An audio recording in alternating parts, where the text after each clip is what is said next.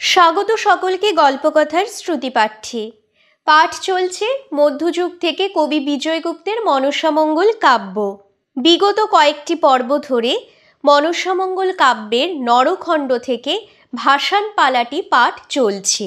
ভাসান পালাটি অনেকটা বড় হওয়ায় আমি চারটি পর্বে ভাগ করে আপনাদেরকে পাঠ করে শোনাচ্ছি। ইতিমধ্যে ভাসান পালা থেকে উনিশ দশমিক এক থেকে উনিশ দশমিক তিরিশ পালা পর্যন্ত পাঠ করা হয়ে গেছে। আজকের পর্বই ভাসান পালার অন্তিম পর্ব, অর্থাৎ উনিশ দশমিক একত্রিশ থেকে উনিশ দশমিক চল্লিশ পালা পর্যন্ত আপনাদেরকে পাঠ করে শোনাবো। তবে প্রিয় শ্রোতা বন্ধুগণ, আর দেরি না করে আজকের পর্বের পাঠ শুরু করা যাক। কবি বিজয়গুপ্তের মনসামঙ্গল কাব্য ভাসান পালা উনিশ দশমিক একত্রিশ পালা।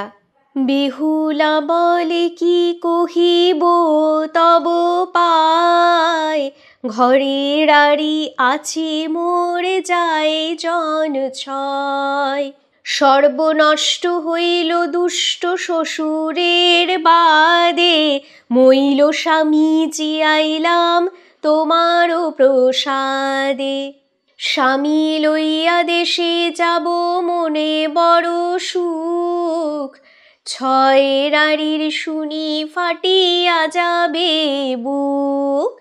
অকালে রাড়ির যৌবনে দিল ডালি। মোর স্বামী দেখি ছয় রাড়ি দিবে গালি। তোমার চরণ বিনা আর গতি নাই। দয়া থাকে জিয়াও মা, প্রভুর ছয় ভাই। তোমার চরণ বলে আসি এত দূর। কৃপা করে দাও মোরে ছয়টি ভাসুর। এতে কবলিয়া বেহুলা নাচে ঘন পাকে, ভালো ভালো বলি পদ্মা হাত দিল নাকে। পদ্মাবতী বলে বুঝিলাম বে কপটে মহিলা সর্বদেবে। স্বামী জিয়াইতে আসিলা এত দূর, এখন জিয়াইতে চাহ ছয় ভাসুর। অবশ্য করিব তোমার যে বা মন লয় শেষে যেন তোমার হাতে কার্য সিদ্ধি হয়। এত বলি বেহুলারে আশ্বাস দিয়া গঙ্গার আবাসে দেবী উপস্থিত হইল গিয়া রত্ন সিংহাসনে বসিয়াছেন ভাগীরথী। প্রণাম করিয়া বসে দেবী পদ্মাবতী। পদ্মারে জিজ্ঞাসা করে, কেন আইলা মাতা? একে একে কহিন, দেবী বেহুলার কথা। শুনিয়া বেহুলার কথা দুঃখ উপজিল। চান্দর ছয়ে পো পদ্মার হাতে আনিয়া দিল। চান্দর ছয়ে পুত্র দেখি পদ্মার কৌতুক। রথে তুলিয়া আনে দেবী বেহুলার সম্মুখ। সিংহাসনে বসি পদ্মা আর আঁকি চাই। চান্দর ছয় পুত্র দাঁড়াইল ডাইনে বাই।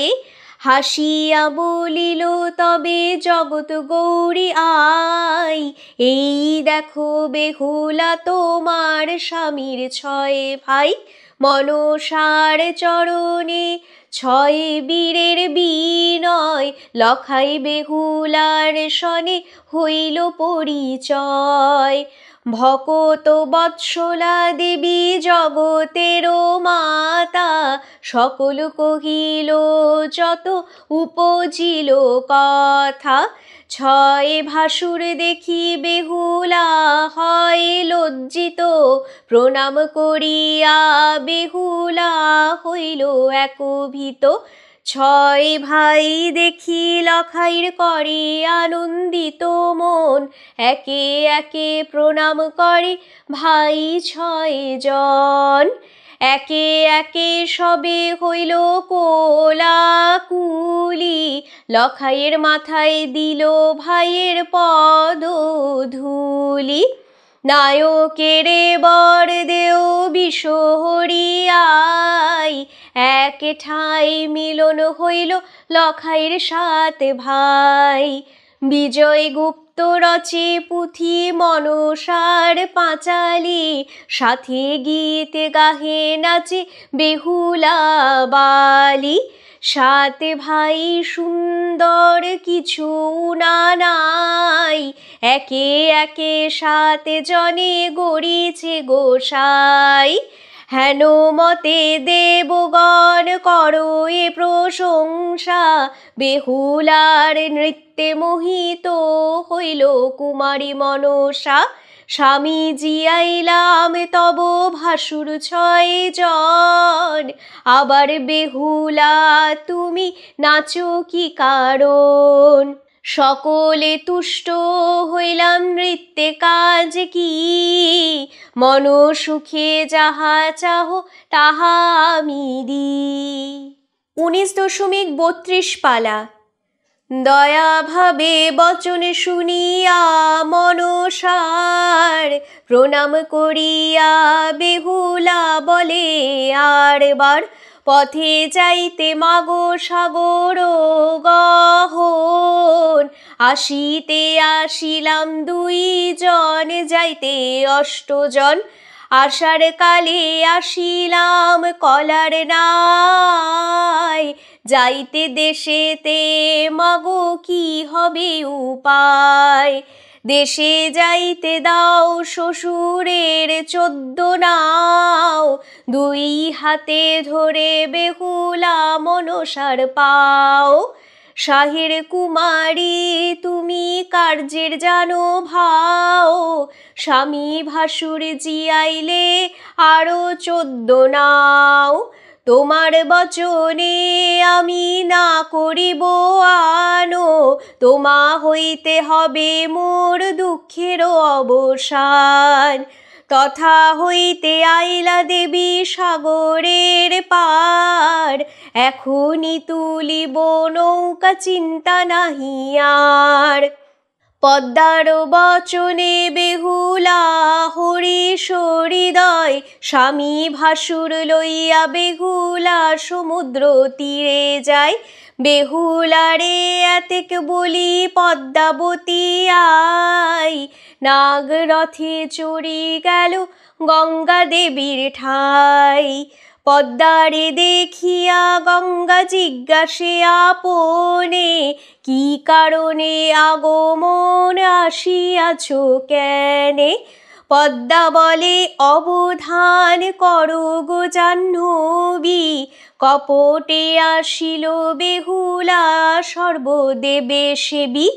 স্বামী ভাসুর জিয়াইতে আগে করে ভাও, এখন চাহে বেহুলা শ্বশুরের চোদ্দ নাও। পদ্মার বচনে গঙ্গা হাসে খল খলি, চিরকাল ডিঙায় পড়িয়াছে বালি। অর্ধেকে জলে ডিঙা আছে, খানিক নহে টুটে কেমন এতে সেই ডিঙা জল হইতে ওঠে। সংবাদ দিয়া আনে পদ্মা হনুমান। পদ্মার স্মরণে আইল উনো কোটি নাগগণ। বিনয় করিয়া, পদ্মা, কহিন শোনো হে বচন। চান্দর চোদ্দ ডিঙা ওঠাও আমারও কারণ। এতে শুনিয়া হনুমান না করিল আন। নাগগণ লইয়া তোলে ডিঙ্গা চোদ্দ খান। ধনে জনে চোদ্দ নাও জোড়ানিয়াছিল সকল বেহুলার স্থানে বুঝাইয়া দিল। একে একে উঠিল চান্দর ডিঙা চোদ্দ গোটা। বিদায় লইয়া চলে পবনের বেটা। দেখিয়া কৌতুক অতি বেহুলা সুন্দরী, আর বার নাচে বেহুলা শাহের কুমারী। পদ্মাবতী বলে বেহুলা, আর নাচো মিছা বেহুলা বলে বাকি আছে ধনন্তরী ওঝা। উনিশ দশমিক তেত্রিশ পালা, বেহুলার বচনে পদ্মা ঈষৎ হাসিয়া ধনন্তরী ওঝা দেবী দিলে নানিয়া পদ্মা বলে বেহুলা তবে করো গমন, বিলম্ব না করো ঝাটে চলো এই ক্ষণ পদ্মার বচনে বেহুলা উঠে হরষিতে, মনসার পদধূলি লইলেক মাথে ভক্তিভাবে শিব দুর্গা করিল বন্দন একে একে প্রণমিল যত দেবগণ। লখাই বেহুলারে দেখি সবের আনন্দিত হিয়া। সেইখানে লখাইর করাইল বাসি বিয়া। পদ্মা বলে বেহুলা শুনো হো বচন, অপযশ খণ্ডে যেন তোমার কারণ। বেহুলা বলে, পদ্মাবতী, তুমি মোর মাতা, এ বেশে জানিলাম তোমাম লাগে ব্যথা সত্য করে বলিলাম, তোমার দুই পায় তোমার ঘট লইয়া যাব এই নাই। শিব, দুর্গা দুইজন আনন্দে বন্দিয়া, নেতার চরণ বন্দে হরষিত হইয়া। নৌকায় চড়িয়া সবে হইল আনন্দিত। তেরো চামরের বাও পরে চারি ভীত উনিশ দশমিক চৌত্রিশ পালা। সবারে বন্দিয়া লখাই ডিঙায় চড়ে গিয়া, সকলে লইয়া ডিঙা দিলে কখুলিয়া, বেহুলা বলে শোনো দেবী নিবেদিয়াই তব ঘট দেও মোরে মাথায় করি যাই। বেহুলারে ঘট দিতে পদ্মা স্থির নয়। আদি অন্ত যত কথা বেহুলার ঠাই কয়। মহাদেব বলে, শোনো বেহুলা গুণবতী, চান্দরে কহিও যেন পূজে পদ্মাবতী। প্রণাম করিয়া বেহুলা পড়িল ভূমিত শিরে মনসার ঘট লইল তরিত। সকলে দেবের পদ বন্দে একে একে, পদ্মার চরণ বন্দি চলিল কৌতুকে। ছল ছল করে দেবের নয়নের পারি থাকুক অন্যের কাজ কান্দে শুলো পারি। সকলে নিমিশেতে জি এক দৃষ্টে চায় মন কৌতূহলে চড়ে মধু করুণায়। ডিঙ্গা বাওয়াইয়া যায় সাধুর কুমার। সাত ভাই কোলাকুলি, আনন্দ আপর মাঝিগণ সারি গায়ে শুনিতে সুললিত, এই কালে বলো ভাই লাচারির গীত। উনিশ দশমিক পঁয়ত্রিশ পালা। প্রতি নায়ে পরে সারা ঢাকে ঢোল বাজে, কারা বাজে আরতির কপিলাস প্রতি নায়ে নৃত্য গীত সর্বলোক হরষিত, ডিঙ্গার উপরে বিচিত্র আবাস। ছয় নাই ছয় কোর মধু করে লক্ষিন্দর, বেহুলা বসিল বাম পাশে। উপরে বিচিত্র আবাস চন্দ্রের যেন প্রকাশ, নক্ষত্র যেন উদয় আকাশে। ধনে সাধু নহে উনা, প্রতিনায়ে সফরিয়া বানা সে তো নীল বিচিত্রী বসর। পঞ্চশব্দে বাদ্য বাজে, যোদ্য নাও পুরা সাজে, অন্তরিক্ষে দেখে দেবগণ চোদ্দ ডিঙা চলিয়া যায় দুই কুলে লোকে চায় অন্তরিক্ষে দেখে সুরপতি। প্রশংসিল দেবগণে সানন্দে বিজয় ভনে যাহারে সদয় পদ্মাবতী। উনিশ দশমিক ছত্রিশ পালা, ডিঙা বাওয়াইয়া চলে বীর লক্ষিন্দর। নেতা ধোপা ঝির ঘাটে নৌকা মিলিল সত্তর, বেহুলা বলে প্রাণনাথ নিবেদি চরণে, অস্থি থুইলাম অভাগে নেই এই স্থানে। এই চম্পা তলে অস্থি করিলাম পতন, পশ্চাতে নেতার সঙ্গে হইল দর্শন। বেহুলার বচনে লখাই কুলে তোলে বাট, সুবর্ণের বান্ধিয়া দিল ধোপাচির ঘাট। বেহুলা বলে, দুঃখের কথা নিবেদি রাঙা পাই, যাবার কালে বাঘিনী খাইতে আসিল তোমায়। পাখির স্তব করিলাম, জোর করি কর। নিজ রূপ ধরিয়া তবে নেতা গেল ঘর। এতেকে শুনিয়া লখাই বেহুলার হাতে ধরি। বড় ভাগ্যে পাইলাম, তোমা হেন নারী। এত শুনি লক্ষিন্দরের ক্রোধ হইল মনে। শাল বন এড়িয়া বাঘ মারিল তখনে। চম্পকের রাজা সাধু ধনী অকাতর। বাঘপুরী নামে তথায় স্থাপয়ে নগর। উনিশ দশমিক সাঁত্রিশ পালা। এই বাঘ হইতে বেহুলা আর বাকে যায়। টেটনের ঘাটে গিয়া পৌঁছিল নাই। চোদ্দ ডিঙা দেখি টেটনা করে পরিহার, পূর্বে সত্য করিয়াছ মা, সত্যে হও পার। শুনিয়া লখায়ের মনে চমৎকার লাগে কোন সত্য করিয়াছ প্রিয়া মনুষ্যের আগে? লখাইয়ের বচনে বেহুলার মনে লাগে ব্যথা জোর হাতে। কহে, পূর্ব টেটনের কথা? টেটনের যত দুঃখ কহিতে না পারি, জুয়া খেলা খেলিয়া হারাইল হার নারী। ভিক্ষা মাগিয়া খাই ঘরে নাহি বসে, সাগরে নামিয়া মরে গলায় কলসে। এতেকে দেখি আমর দুঃখে পড়ে হিয়া সত্য করি উহারে করার পঞ্চবিয়া। বেহুলার বচন লখাই না করিল আর চোদ্দ ডিঙা সেইখানে করিল চাপান। সমুদ্রের কূলে তবে নগর বিরচিয়া, পাঁচ গৃহস্থের কন্যা আনিল মূল্য দিয়া।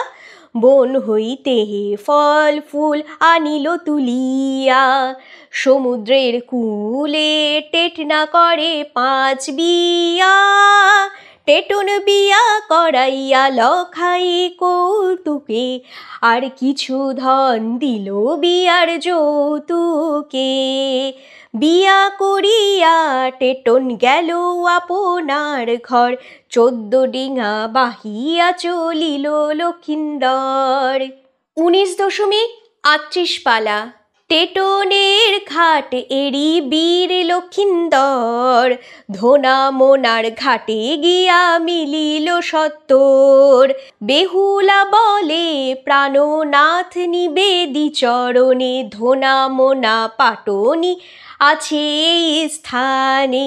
তোমারে লইয়া যখন দেবপুরী যাই, আমার ধরিতে হেথা আইল দুই ভাই।